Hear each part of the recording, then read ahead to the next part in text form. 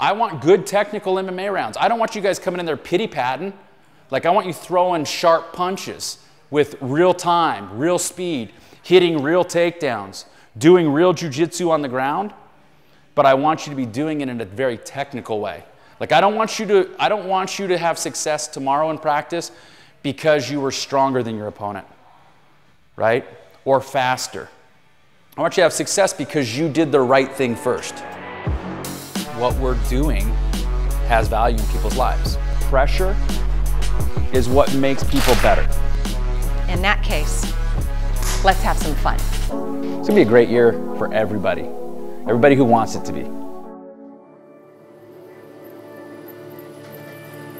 If you, whatever you're looking at, that's where you're going. Okay? Don't look down. Like if you see the ground, that's where you're gonna be waking up, is down there. Your number one thing is your own safety, which means you have to protect your body. Like you, when you're falling in awkward ways or you're fighting and it's causing you to be in an awkward position that compromises your safety with your knees or your arms or your neck, you have to give up and give in and let go in order to protect yourself. That's longevity, that's sustainability. You cannot uh, prioritize winning a stupid drill in here over your own health, which means where people usually get hurt is they get too competitive and then they, they, they put winning above their physical health. You guys follow what I'm saying there? So don't reach back, okay? Don't reach back, don't catch yourself, you tuck your chin, you move and, and, and, and help them take you down if you have to in order to protect yourself. You guys did a really good job. It doesn't surprise me. This is why women get better at MMA and jujitsu quicker than men, okay? You guys have less of an ego. You guys are, you guys are more willing to learn and not keep score as much as these guys, okay? So when you guys were compromised, you did exactly what I said. You fell in a nice, safe, to safe way. When you got into a dominant position, you controlled it on the way down, right? You weren't, you weren't concerned with really making a point, okay? That I like. That's how you need to train all the time if you, if you want to do this long term. If you can't train in that mindset, you will not be able to, to sustain this. There will be no longevity. If you come to practice and winning is more important than learning, you will, you will quit. Either you'll quit because you're too broken to continue on, or you'll quit because you're just sick and tired of being frustrated and feeling like a loser because all that matters to you is the score. Okay? The score is you versus you, remember? And you're going to get better and learn more when you become less attached to the outcome, right, of any given exchange, and more concerned with, am I trying to do the right thing? Not what result am I getting, but did I attempt the correct escape? Did I, did I technically do a, a, a good takedown? Did I get good reps in practice today? Or did I try to mask everything with speed and tenacity and aggression and muscle. And then I went to the gym and lifted more weights and ate more steroids and tried to compensate for my inability to do the technical thing by just because that's not sustainable. In the short term, I'm not saying that that won't work. It will in the short term. But nobody's doing that long term. That is not a sustainable pattern. Eating steroids, lifting more weights, and going harder in practice, it might work in the short term, but I'm looking at the long game right? I'm looking at like, am I going to be on the mat at 65? Am I going to be able to pick up my grandkids at 75? Or am I going to be too broken from just bad practices? Okay, I don't want to be that broken. And I don't want you guys to be that broken either. Okay, so let's focus on that, and I'm getting you guys prepared for tomorrow. Because tomorrow is MMA rounds. I want good technical MMA rounds. I don't want you guys coming in there pity patting. Like, I want you throwing sharp punches with real time, real speed, hitting real takedowns, doing real jujitsu on the ground, but I want you to be doing it in a very technical way. Like I don't want you to I don't want you to have success tomorrow in practice because you were stronger than your opponent. Right? Or faster. I want you to have success because you did the right thing first. Push tomorrow, hard practice, okay? But a good practice, one that's going to make you better next week, and one that's going to get you closer to April 6th. Blue team on three. One, two, three. Blue team! You all right there, Dave? Yeah. Careful. Put your put your body ahead of winning. Yeah. Okay. I don't want I don't want to I see was you. trying I don't want. hip toss. I know. I didn't get my legs. I know, right but if it doesn't feel right, don't don't horse it. You know what I mean? Like don't force it. Yeah. I don't want to see you get injured. I want to see you be able to Well, compete in that's- April. That's and the one thing I was talking to uh, Mike when we were in the cage over there. Is I'm getting in my own head as we're ramping up I know. because I'm fighting more of my own pain than I am anything else. My cardio's fine. Mm-hmm.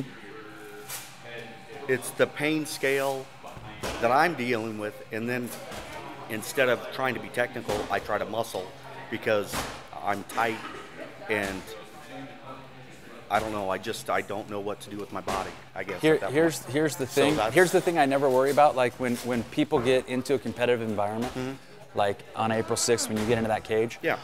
I'm not worried about you being aggressive or being able to turn it up. Mm-hmm. You'll do that naturally. I don't have to teach you how to? Yeah. do that. That that's like a human instinct that's going to happen on its own. What I'm concerned about when we're preparing for a competition is giving you the technical tools that wouldn't come naturally if they weren't Yeah. taught and learned. And that's why I'm saying when you're in here, I need you to relax, mm-hmm. let go of that other stuff, and focus merely on the technique.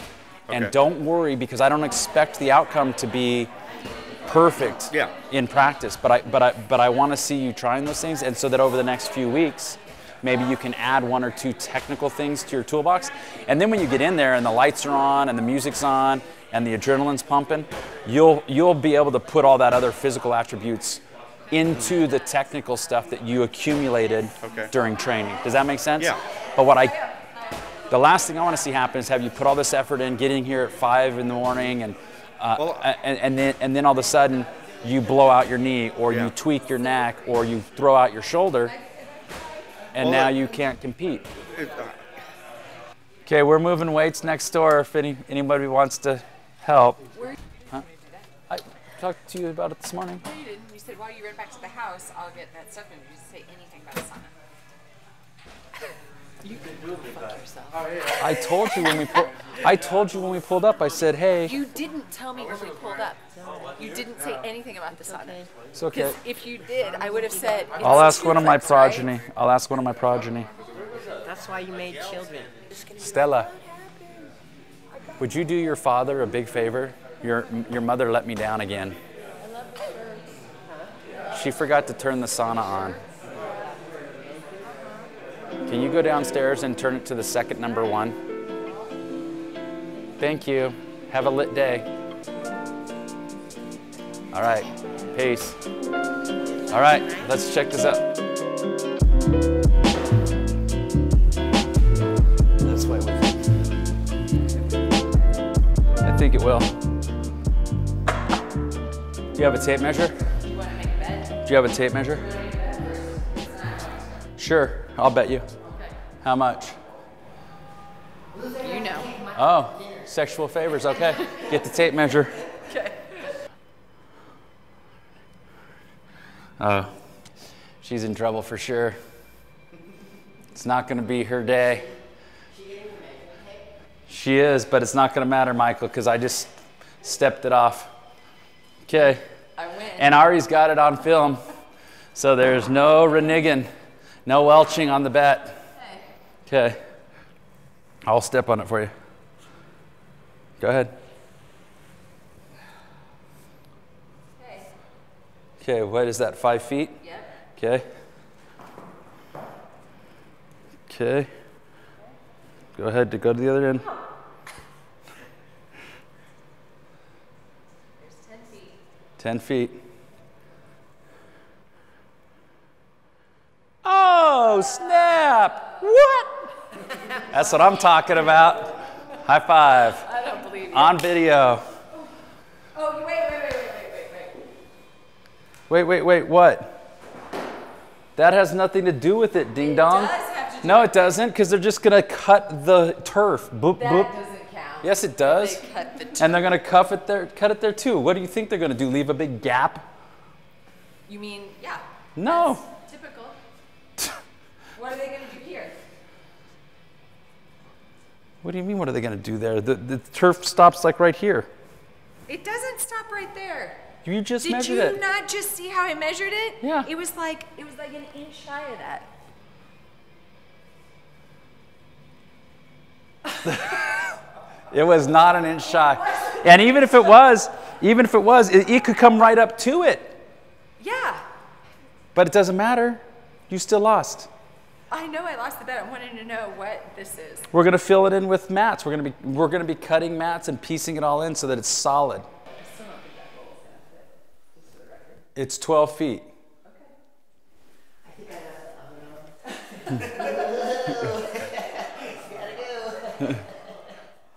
Don't let her intimidate you, Michael.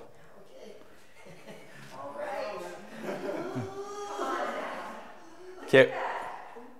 We still have to figure out what we're going to do with these and these. Right here. Versus that over there where it has to come to. It's not going to fit without cutting it. Mark my words. It's not going to fit without cutting it. Okay. Everybody's heard you. You know the first rule of holes, right? When you find yourself in one, stop digging. 20 years later, I'm still married.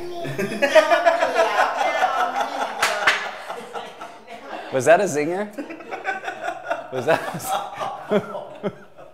and I do think we should do the big Teddy Roosevelt mural on the back of this wall, facing first. Yeah. And I think it would be badass. Teddy Roosevelt. Teddy Swoelsevelt. And then um, I, I think we should do a, just a ginormous gorilla right there. Like, so you can't, like, you look through that window, just like, bam. All right. When's the rest of the equipment come?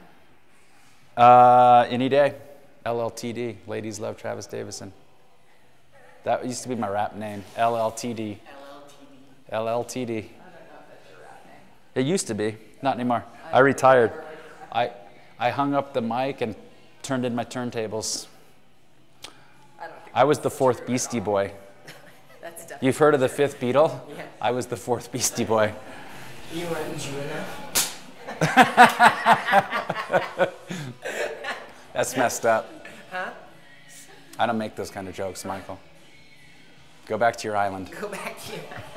Yeah, I would highly trade this cold ass winter for an island weather right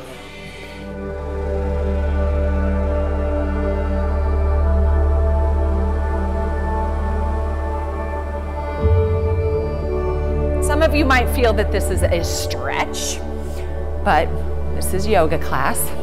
We're going to stretch, if not your body, at least your mind. Raise both arms up. Oh, the very beginning, down and turning away.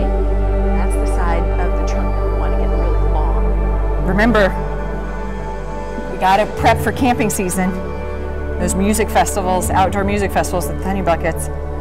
When I take my knees forward and drop down, That might be it. Are you eating enough? Are you sleeping enough?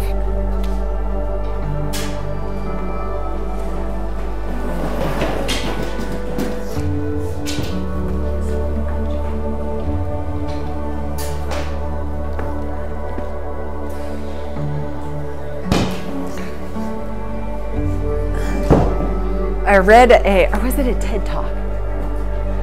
I don't know if it was a talk or something that I read recently that um, I never, I had never heard anyone actually admit to waking up this way, which I do not frequently, but often enough that I don't like it. Um, you wake up with that sense of dread.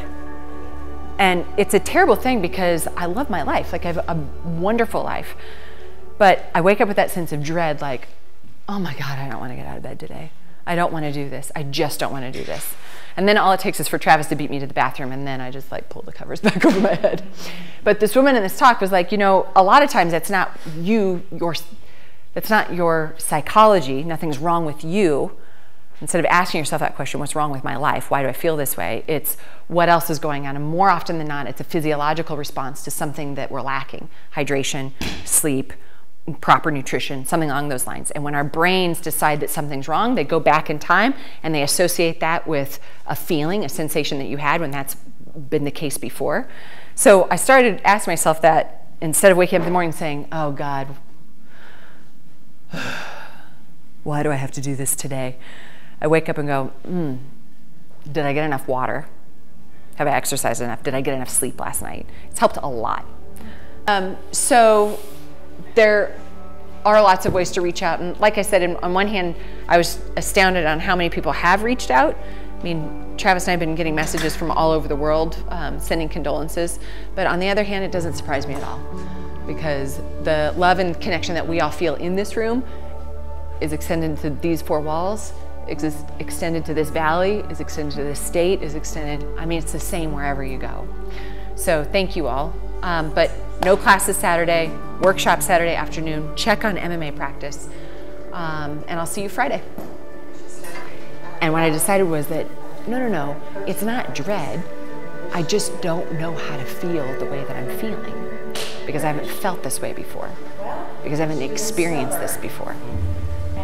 So, learning how to experience without categorizing or refiling that experience. Man. I know. Okay. So this is about self awareness, right? Yeah. It's all about self awareness. Or just about awareness.